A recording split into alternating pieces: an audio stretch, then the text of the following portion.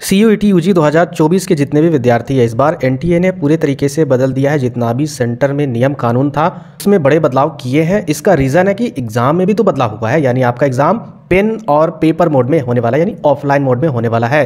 तो इसके रिगार्डिंग कुछ बदलाव हुआ है, जिसमें मैंने आपको थमनेल में साफ़ साफ़ क्लियर किया है। रफ पेपर नहीं मिलेगा। इसके अलावे बहुत सारी इंपॉर्टेंट चीज़ें हैं। इसके बारे में आपको जानना बहुत ज़रूरी है। हो सकता है एग्ज़ाम में इसके रिगार्डिंग आपको प्रॉब्लम फेस करना पड़ सकता है। तो चलिए सारे गाइडलाइंस के बारे में समझते हैं। और ये जो गाइडलाइन है वो, देखिए, जितने भी आर्टिकल रिलीज़ होते हैं, कहीं ना कहीं एनटीए के इंटरव्यू यानी उनके जो अधिकारी होते हैं, उनको इंटरव्यू देते हैं। और उसके बाद वो सारा कुछ रिलीज़ करते हैं। हो सकता है ये ऑफिशियल चीज़ आपको एडमिट कार्ड में मौजूद रहे। जी हाँ एडमिट कार्ड के इंस्ट्रक्शन में हंड्रेड मौजूद रहेगा। पिछले वाले एडमिट कार्ड का इंस्ट्रक्शन वाला मैंने वीडियो बनाया था, उसमें बहुत सारे चीज़ का बदलाव हुआ है। तो देखिए यहाँ पर हिंदुस्तान आर्टिकल के माध्यम से यहाँ पर क्या बताया गया है? सैटरडे यानी 11 मई 2024 को ये चीज़ रिलीज़ किया गया है कि सी बुधवार से यानी इसी बुधवार से, जैसे आज आपका सैटरडे है, उसके बाद संडे फिर मंडे फिर ट्यूसडे फिर वेडनेसडे यानी बुधवार से common entrance test U G की परीक्षा पहली बार हाइब्रिड मोड में शुरू होने जा रही है। पंद्रह मई से इकतीस मई दो तक परीक्षा चलेगी। C U T U G परीक्षा को लेकर नेशनल टेस्टिंग एजेंसी यानी एन द्वारा कुछ ज़रूरी निर्देश स्टूडेंट के लिए जारी किए गए हैं।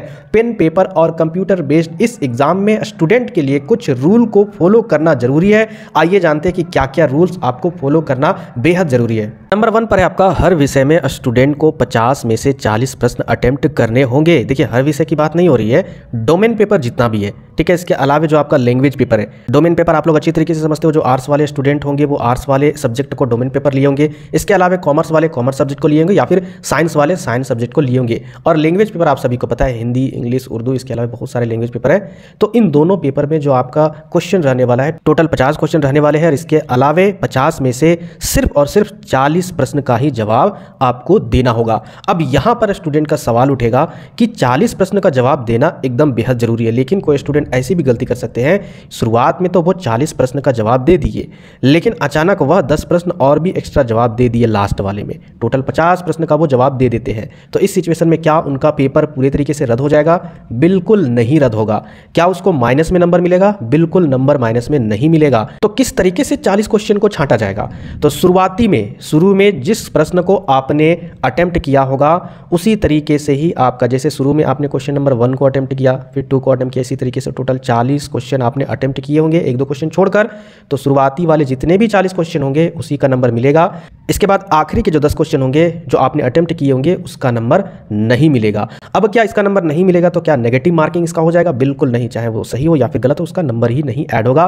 शुरुआत से जो चालीस क्वेश्चन आपने सही किए हैं, उसी का ही नंबर मिलेगा। अब यहाँ पर यह भी सवाल उठता है, कई स्टूडेंट अगर तीस ही क्वेश्चन अटैम्प्ट करेंगे तो देखिए, आपको तो मिनिमम चालीस करना ही है।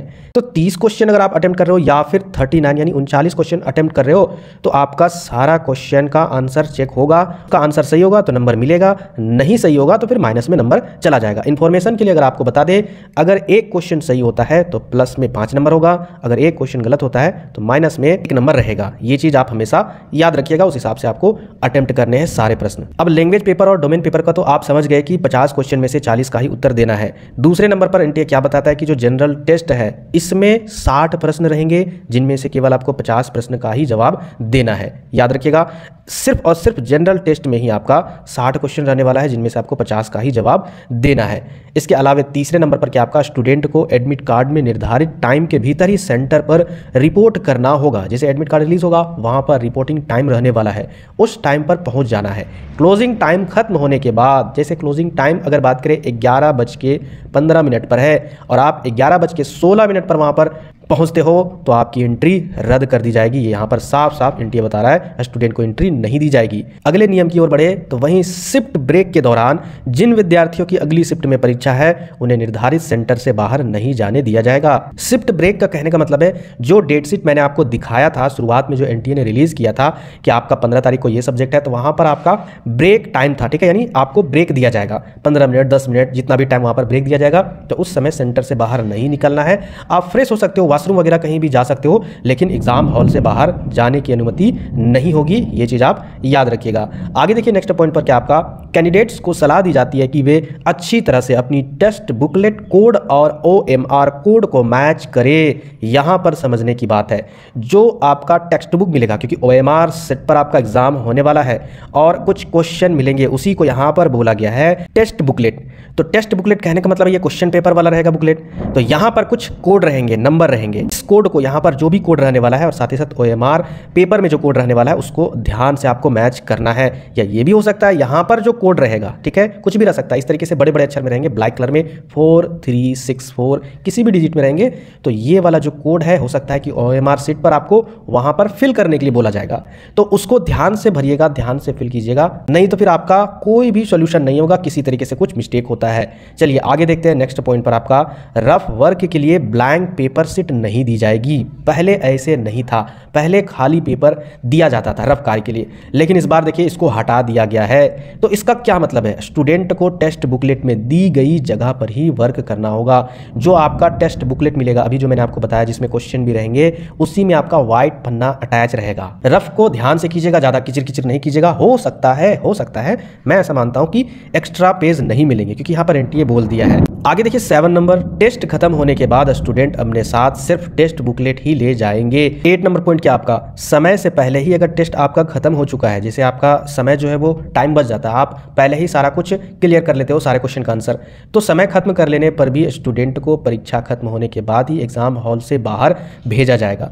यानी ओवरऑल जब तक इजाज़त नहीं मिलेगी, चाहे टाइम खत्म हो जाए या फिर बचा रहे, आपको सेंटर से बाहर नहीं जाना है। इसके बाद देखिए आगे नाइन नंबर जैसे ही टेस्ट खत्म हो जाता है, उसके बाद स्टूडेंट को ओ एम सीट अभी आपने क्या देखा? यहाँ पर देखिए, ये सेवन नंबर कि टेस्ट खत्म होने के बाद स्टूडेंट अपने साथ सिर्फ़ बुकलेट ही ले जा सकते हैं। बुकलेट मतलब क्वेश्चन पेपर लेकिन किसे नहीं ले जा सकते हैं? यहाँ पर देखिए, जैसे ही टेस्ट खत्म हो जाता है स्टूडेंट को ओ एम आर सिट जो आप फिल किए हैं आंसर और एडमिट कार्ड दोनों एग्जामिनर को सौंपना होगा। साथ ही यह भी ध्यान रखना होगा, उनके द्वारा जमा की गई ओ एम आर सीट पर उनके हस्ताक्षर के साथ साथ यानी आपका तो साइन होना ही चाहिए, साथ ही साथ पूर्व निर्धारित स्थानों पर पर्यवेक्षक के हस्ताक्षर भी होनी चाहिए, यानी टीचर के भी वहाँ पर जो भी टीचर रहेंगे, वो आपके ओ एम आर सीट पर सिग्नेचर करेंगे, उसका भी साइन होना चाहिए। अगर साइन नहीं होगा तो फिर आपका ओ एम आर सीट नहीं लिया जाएगा। अब यहाँ पर बात कर लेते हैं, ये जो सारा जो गाइडलाइंस है ना, कहीं ना कहीं आपके एडमिट कार्ड में मौजूद रहेंगे, आपको मैं बताऊँगा, जैसे एडमिट कार्ड रिलीज़ होगा। बहुत सारे स्टूडेंट ये भी पूछ रहे थे कि एडमिट कार्ड कब रिलीज़ होगा तो एडमिट कार्ड दो दिन एग्ज़ाम के या फिर तीन दिन, याद रखिएगा दो या फिर तीन दिन पहले आपका लिंक एक्टिवेट कर दिया जाएगा, जैसे सिटी इंटीमेशन का लिंक एक्टिवेट हुआ था,